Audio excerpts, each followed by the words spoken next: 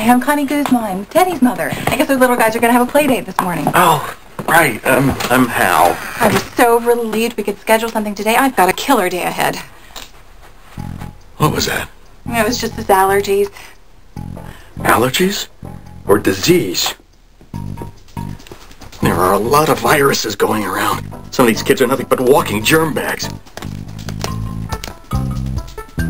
He seems a little unresponsive. Is Jamie's mother home? Boy, I do not like the way this gland feels. What did his poop look like this morning? You know, I'm not sure Teddy's up for a play date today. Oh, Jamie will be so disappointed. Come on, Teddy. You're going to Mommy's job interview. We'll do it again some other time. Just make sure you bring a note from his doctor.